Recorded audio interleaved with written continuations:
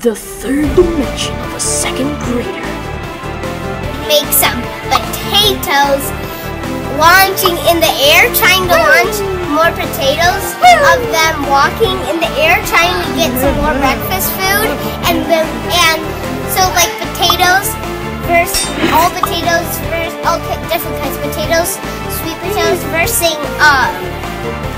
um vegetables and breakfast food. So the potatoes launch over. to the